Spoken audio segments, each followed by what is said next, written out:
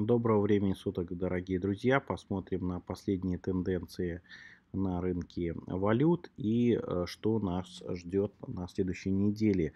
А, попробуем э, разобраться в текущих тенденциях и какие долгосрочные э, тренды нас ждут еще до конца года. А, сегодня мы видим оптимизм в отношении евро, также фунта.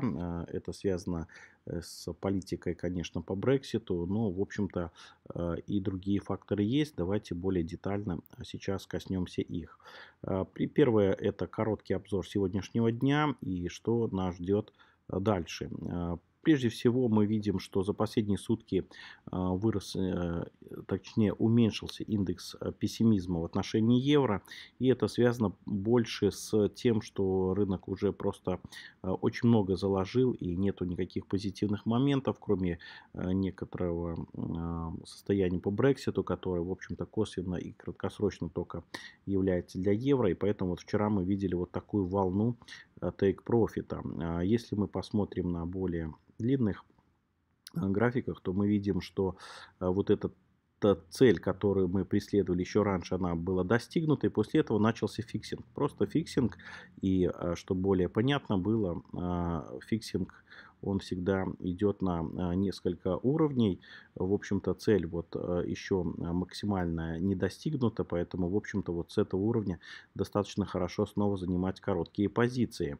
А почему? Давайте посмотрим вместе. Ну, первое, что мы видим, что немецкая экономика достаточно слаба, бизнес-климат в Германии только лишь уменьшается и уже упал ниже 100, 97,9 по последним данным. Политика в отношении с Э, Китая все-таки идет к тому, чтобы сделка будет заключена, даже вот такой кровью Huawei, а также других компаний, которые могут попасть под нож американским, но какая реальность есть, такая есть.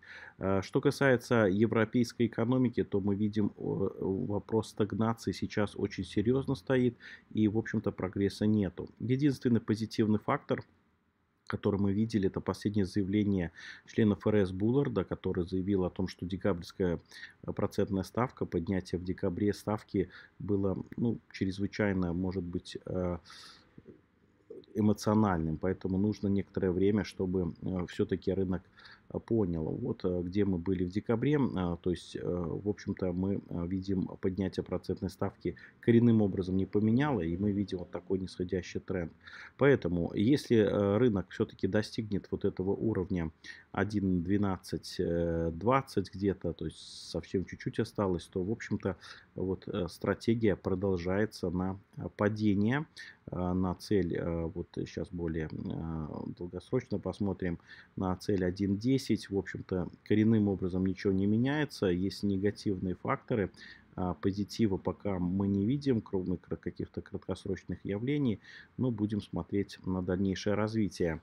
А, в общем-то, если посмотрим вот на индекс, то мы видим, хоть take profit как бы рекомендован, мы не придерживались такой тактикой и решили подождать в коротких позициях. Начало коротких позиций было 13 мая, поэтому есть э, еще некоторый запас, можно подождать. А, что касается более длинных еще тенденций, э, если горизонт инвестирования а, где-то стоит более длинный срок, то, в общем-то, тут тоже пока тенденция не меняется и цифра 1.05 более приоритетная, нежели восстановление. Хорошего дня, удачных вам инвестиций, хорошего э, выходных. В понедельник будет сокращенный рабочий день на электронной торговой сессии. Э, в общем-то, э, в Америке выходной банки не будут работать, поэтому э, активность будет очень слабая. Хорошего дня еще раз и хороших выходных.